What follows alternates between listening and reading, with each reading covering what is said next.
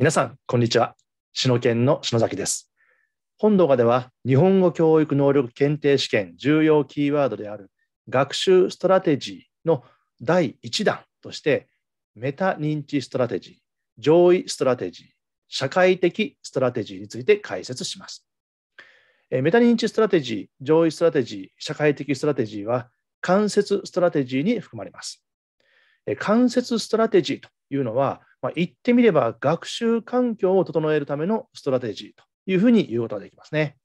でこれは意外と重要で、まあ、例えて言えばですね、この目的地まで移動するのに歩いていくのか、自転車で行くのか、それとも車で行くのか、どの移動手段を選ぶのかに近いというふうに私はまイメージしています。でこの言語学習ストラテジーに関する知識は教育現場でも重要ですし、まあ、それだけに検定試験にもよく出題されるんですね。私自身、現在大学教授として留学生に指導していますけれども、まあ、学力の高い学習者というのは、まあ、うまく自分をコントロールして学習環境を整えるということに非常に長けた学習者が多いように見受けられます。私の教え子の中にも、試験が終わったらご褒美に焼肉を食べに行きますというような留学生がいて、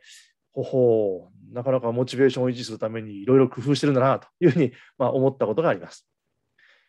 学習ストラテジーについて理解を深めたい、そして検定試験で失敗したくないという方は、ぜひ最後までご覧ください。本動画の具体的な内容としては、このようになります。えまず、言語学習ストラテジーの体系について簡単に整理しておきます。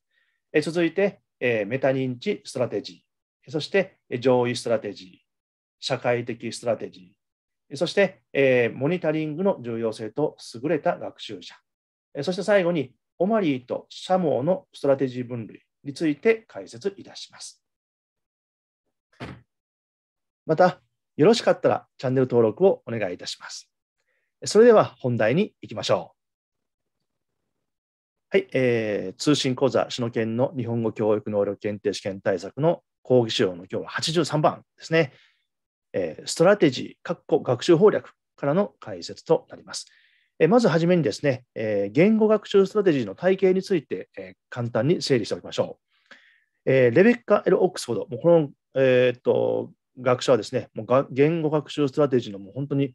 第一人者、大家ですので、もう名前もちゃんとしっかり覚えておきましょう。えこのオックスフォードはですね、え言語学習ストラテジーの体系を以下の図のようにまとめていますということで、えこの、えレベッカ・エル・オックスフォードのこの書籍ですね、え下の概要欄につけておきますので、えよろしければですね、ぜひあのご覧いただきたいというふうに思います。で、え学習ストラテジーの体系ですね。え学習ストラテジーは直接ストラテジー。これは言語学習に直接関わるストラテジーということものと、え間接ストラテジーですね。先ほども言いましたが、まあ、主に、えー、学習環境を整えるストラテジーということですね。この2つに分かれるんだということですね。で、え、直接ストラテジーは、さらに、えー、記憶ストラテジー、認知ストラテジー、補償ストラテジーのこの3つに分かれるということですね。で、間接ストラテジーは、えー、メタ認知ストラテジー、えー、情意ストラテジー、社会的ストラテジーですね、この3つに分かれるということですね。で、今回の動画では特にこの間接ストラテジーについて解説いたしますということですね。で、まあ、この学習ストラテジーの体系ですね、まあ、さらに言えば、えー、このレベッカ・エル・オックスフォードの1994年のですね、言語学習ストラテジーという書籍、これはもうあの言語学習ストラテジーを研究する研究者ですね、もう必ず10人いれば10人読んでいるというぐらいのですね、えー、名著中の名著とですので、えーまあ、繰り返しになりますが、ぜひ読んでいただきたいなというふうに思いますね。で、えー、では、えー、今回は直接ストラテジーは、えー、飛ばしまして、はい、えー、こちらの間接ストラテジーから参りましょう。間接ストラテジーとは、がえー、言語学習を間接的に支えるストラテジーのことで、メタ認知ストラテジー、情意ストラテジー、社会的ストラテジーの3項目からなりますということですね。ではまず、メタ認知ストラテジーからいきましょう。メタ認知ストラテジーは、学習者が自分の学習過程を調整するために用いるもので、具体的なストラテジーとしては、えー、自分の学習を正しく位置づける、えー、自分の学習を順序立てて計画する、自分の学習をきちんと評価するがありますということですね。あのメタという言葉はですね、なかなかこう、聞き慣れない言葉ですし、まあ、ちょっと抽象度が高いので、今一つこうよくわからないというふうに思われる方もいらっしゃるかもしれませんが、イメージとしてはですね、あのこの視点ですね、この見る、はい、視点を一つ上に上げると、それをまあメタというふうに言うというふうにイメージしていただけると分かりやすくなりますね。したがって、このメタ認知ストラテジーというのは、勉強している自分をですね、一つ上の視点からですね、まあ、なんて言いますか、天井からこう眺めるような感じですね、見て、えー、まあ俯瞰するということですね。まあ、自分自身を客観的に見るということですね。はい、そういうふうにイメージしていただけると分かりやすいんじゃないかと思います。では、具体的にどんなのかですね、13番ご覧ください。えー、自分の学習を正しく位置づけるですね、えー、具体的には学習全体を見て基地の材料と結びつける。例えば、例えば、これから取り組む学習、言語学習の主要な概念や原理、そして一連の材料を総合的に見て、すでに知っている材料と結びつけるということですね。やっぱりですね、このすでに知っている、えー、知識というのは、まあ、言ってみれば長期記憶になったわけですから、長期記憶と結びつけることによって、まあ、忘れにくいということがあるわけですね。加えて、まあ、もちろん理解しやすいということもあるわけですね。はい、じゃあ次行きましょう。注目する、えー、言語タスクに集中するとですね。えー、で次に話すのを遅らせ、聞くことに集中するということですね。例えば、聞く能力が十分に発達するまで外国語での発話を一部、あるいは全部遅らせることをあらかじめ決めておくということですね。まあ、無理に最初から話さないということですね。はいまあ、いろんな教授法がありますが、教授法の中にはですね、このように、ま、最初から発話を強要しないということを、まあ、一つの方針にしている教授法も少なくないですね。はい、では次行きましょうか。14番目。自分の学習を順序立てて計画する。ね、例えば、えー、まあ、具体的には以下のようになりますね。言語学習について調べると。本を読んだり、他の人と話したり、そこから得た知識を使って言語学習はどのように行われるかを調べる努力をするということですね。はい、そもそもどうやって勉強したらいいのかということをですね、まあ、事前に調べるということなんですね。はい、だから、あのこれ結構大事で、えー、こういうことしないでですね、まあ、たまたま目の前にあった参考書をですね、まあえー、ただやっているという だとですね、まあ、結果がどうなるかというのもですね、まあ、なかなかわからないということですね。次行きましょうか。組織化する、えー、スケジュール管理や物理的環境、場所、気温、音、明かりなどやノートの取り方などをきちんと体系化する。はい、これも非常に素晴らしいですね。例えば、勉強するんだったらもう決まったこの場所で勉強するとかですね。あるいは、いつも同じ場所で勉強すると、やっぱりマンネリ化するので、例えば月水金はこの場所で勉強する。でも火木土は別のところで勉強する。に対して、ちょっと気持ちをリフレッシュするさせるということも非常に有効な手段ですよね。はい。次、目標と目的を設定する。えー、長期的目標や短期的目的を設定する。はい。これも非常に重要ですね。はい、あの目的、目標というのは結局どこに向かうかということです。ね、で向かう、えーまあ、旗印を決めるということですね。そしてそれもそこに向かうために、えー、どんな階段をこう自分で設定して着実にやっていくかということですので、これ、本当にあの目的を達成するためには非常に重要だということというか、まあ、そもそも目的を達成しないことにはですね あのどっちの方向に進むか分からないということですから、非常に大事ですよね。え次、えー、言語学習タスクの目的を明確にすると。え次、言語学習タスクのために計画を立てると。え次、実践の機会を求めると。ですね、例えば、学習中の言語の映画を見に行く。ねえー、例えば、日本語学習者であれば、なんか日本語の映画を見に行くということですね。で、その言語が使われているパーティーに出席すると。なるほど。国際交流の会にま参加すると。なるほどそうやって、えーまあ、日本語を使う、え、場面にですね、えー、できるだけ自分をまあ持っていくということですね。これも非常に重要な、えー、ことだと思います。はい、次、15番ですね。自分の学習をきちんと評価する。ねえー、具体的には自己モニターをすると。えー、自分の誤用、まあ、エラーですね。これを見定め、その原因を突き止め、まあ、エラーをなくすよう努めるということですね。はいまあ、これができる学習者というのは、あの非常にあの分析能力が高いといいますか、えー、自分の言葉の使い方に対する気づきがです、ね、多い学習者ですね。はい、もしこれがなかなかうまくいってないなという学者に対しては、我々教師がですね、えー、御用の、こういう御用が多いよと、こういう間違いが多いよと、その原因は多分こういうことだよと、だからこういうことに気をつけて、あの勉強してみてねというふうに、まあ、アドバイスをしてあげると非常に有効ではないかなというふうに思います。はい、次ですね、えー、自己評価をすると、えー、外国語学習の進捗を評価する。自分で評価するということですね。はい。で、次行きましょうか。情意ストラテジーですね。え、情意ストラテジーは学習者が言語学習に伴う情意面、感情とか態度とか動機とか価値ですね。これをコントロールするために用いられるもので、具体的なストラテジーとしては、自分の不安を軽くする。自分を勇気づける。適度に冒険するがあります。言いましょうか。16番。自分の不安を軽くする。えー、斬新的リラックス。え、深呼吸とか瞑想を活用すると。まあ、ちょっと勉強して疲れたなという時には、え、ちょっと目をつぶって深呼吸をするとかですね。あるいは、え、同じ間違いを、え、こう立て続けにしてしまったというそういう時はですね、ちょっと一回、えー、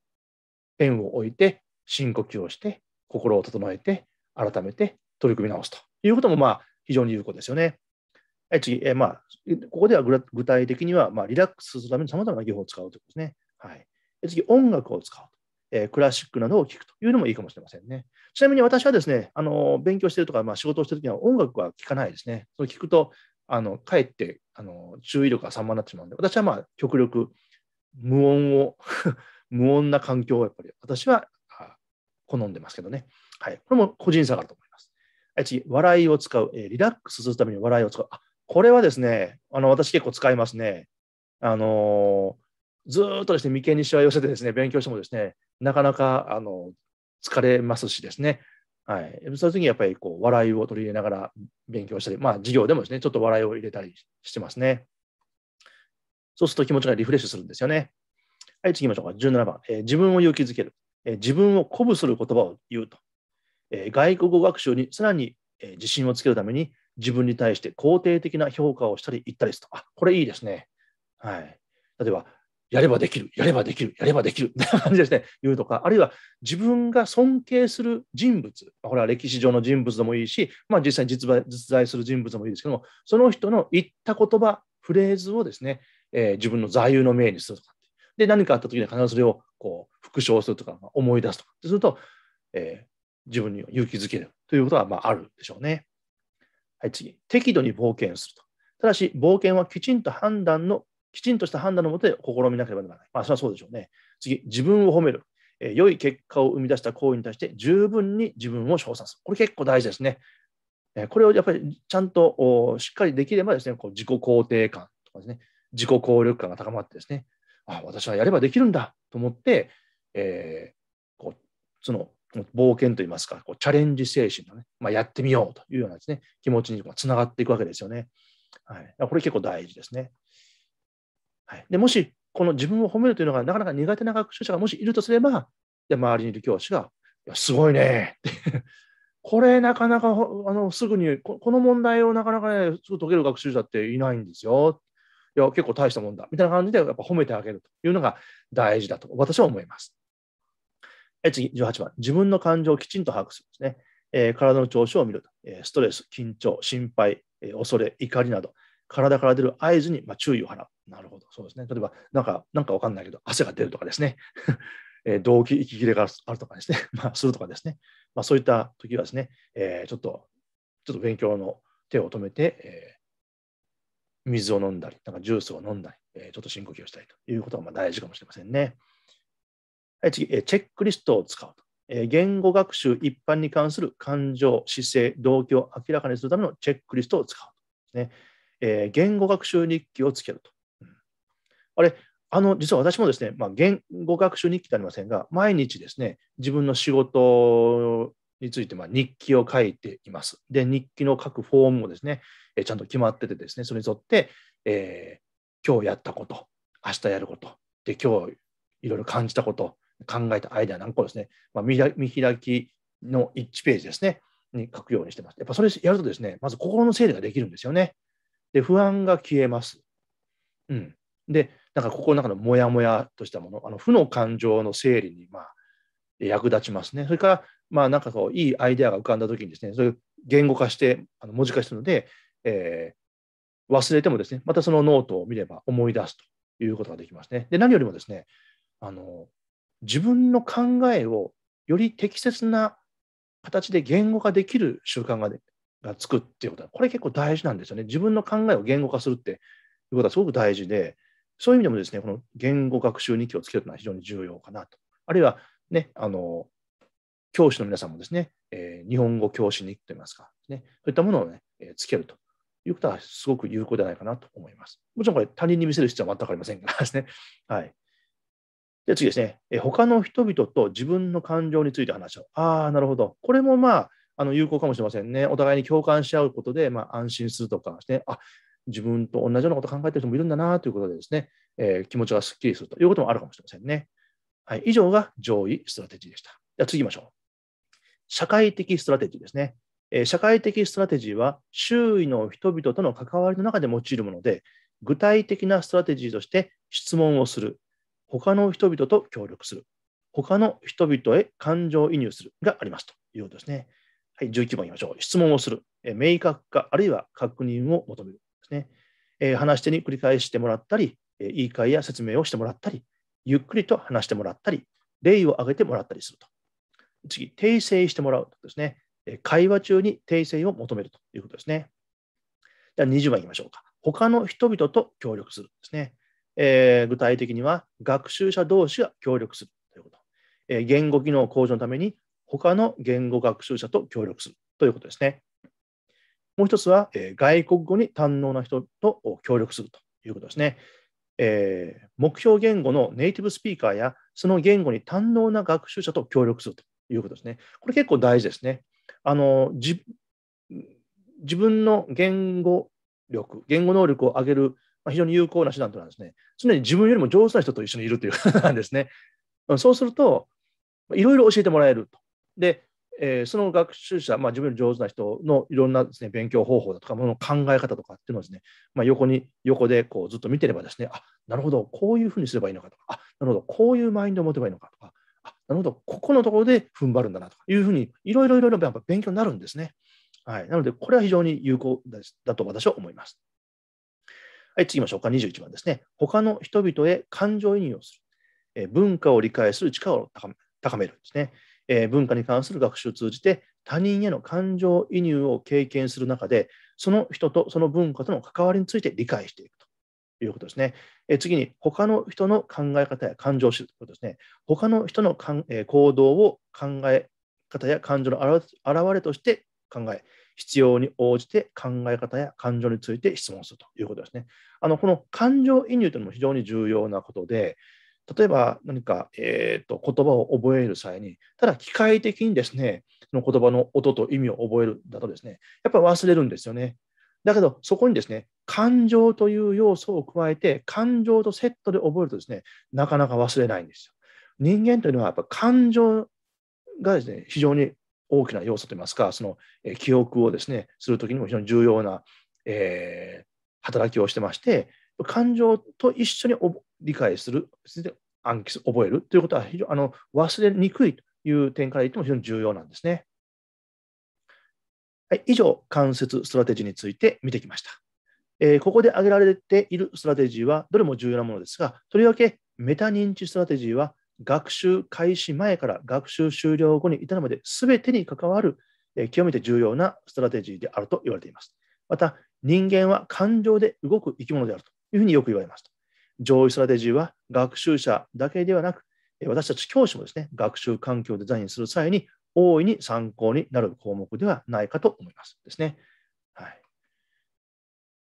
まあ、私もですね、あの授業をする際に、あるいは、えーと、教師を教えたりですね、いろんな検定えー、試験対策の、まあ、セミナーをするときにですね、できるだけ感動とか、驚きとか、共感とか、納得とかっていう、そういう要素をですね、まあ、盛り込むように、えー、しているつもりです。でそうやって、その学習者や、あるいはまあ日本語教師を目指す方はですね、感情をですね、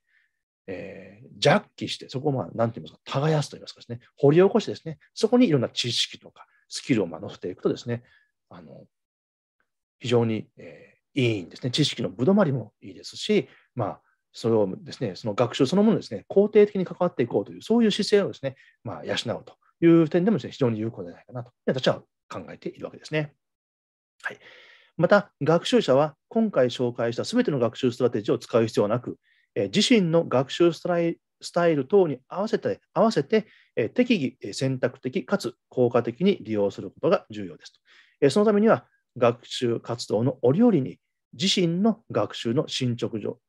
況や到達度、えさらには、え使用したストラテジーの適否等について振り返り、評価すること。つまり、モニタリングが大切ですということなんですね。あの今、今回はですね、まあ、間接ストラテジーについて、まあ、網羅的に紹介しましたけどもですね、これ全て使う必要はないわけですね。この中から自分に合うものを選べばいいわけですね。で合うかどうかはですね、やっぱり実際にやってみないと分かんないわけですよね。やってみて、で、あ、これは自分に合うなとか、あ、これはちょっと自分には合わないな。あるいは、あ、このままでは合わないんだけども、こういうふうにちょっとアレンジすれば、なんか自分にしっくりきそうだというふうに、そういうふうにこう、えー、自分仕様にカスタマイズしていくことが大事なんです。それは何かというと、結局、モニタリングってことなんですね。はい、こうして学習ストラテジーを学習者に指導し、意識化させることは、彼らを学習ストラテジーを使いこなし、自律的に学習を進める、つまりこれってオートノミーという学習の自動化ってことですね。えー、だからこの専門用語も覚えておきましょう。ね、こういった自律的に学習を進める、えー、優れた学習者に育成するために重要ですということですね。はい、次行きましょうか。言語学習ストラテジーの研究には、レベッカ・エル・オックスフォードのほか、オマリーとシャモーがいますと。え彼らは学習ストラテジーを認知ストラテジー、メタ認知ストラテジー、え社会情意的ストラテジーの3種に分類しました。え彼らの分類は、レベッカ・オックスフォードの分類とよく似ており、え認知ストラテジーはオックスフォードの言う認知ストラテジーと記憶ストラテジーを合わせたもの。社会情意ストラテジーは、オックスフォードの言う補償ストラテジー、情意ストラテジー、社会的ストラテジーを合わせたもの。メタ認知ストラテジーは、オックスフォードの言うメタ認知ストラテジーと同じものを指していますということなんですね。はい。じゃあ、今回勉強したことを復習しましょう。はい、まず、言語学習ストラテジーの体系について確認しておきました。えー、レベッカ・エル・オックスフォードですね。の言語学習ストラテジーの体系はです、ね、このようになりますということですね、えー、直接ストラテジーと間接ストラテジー。そして直接ストラテジーは1、記憶ストラテジー、2、認知ストラテジー、3、補償ストラテジーに分けられますよ。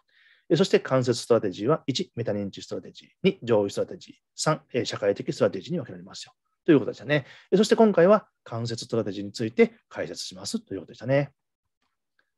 そして、はい、えー、間接ストラテジーですね、え。間接ストラテジーとは、言語学習を間接的に支えるストラテジーのことで、メタ認知ストラテジー、情意ストラテジー、社会的ストラテジーの3項目からなりますということでした。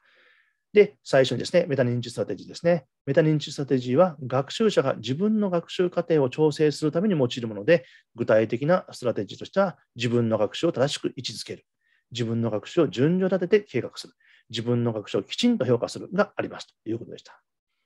そして、情意ストラテジーですね。情意ストラテジーは学習者が言語学習に伴う情意面、感情、態度、動機、価値をコントロールするために用いるもので、具体的なストラテジーとしては、自分の不安を軽くする、自分を勇気づける、適度に冒険するがありますということでしたね。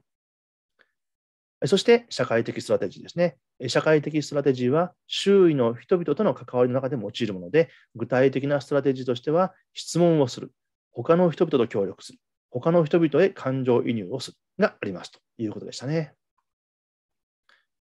はい、そして、えー、学習者は今回紹介したすべての学習ストラテジーを使う必要はなくて、えーまあ、適宜ですね、えー、自分の学習をま振り返ると、振り返って評価するということが必要だということですね。つまりこれがモニタリングなんだよということでしたね。えー、そして、こうした学習ストラテジーを学習に指導し、意識させることは、彼らが学習ストラテジーを使いこなし、自律的に学習を進める、まあ、こういうのを autonomy と言いましたね。で、進める、えー、優れた学習者に育成するために重要ですということですね。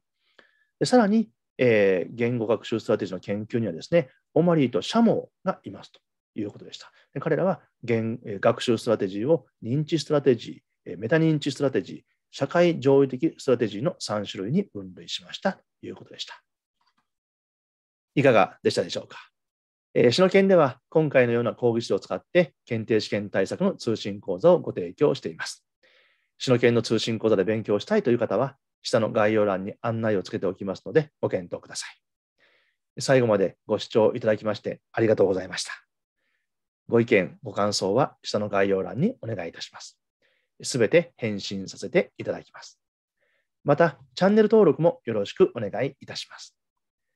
日本語教育能力検定試験合格に向けてしっかり頑張りましょう。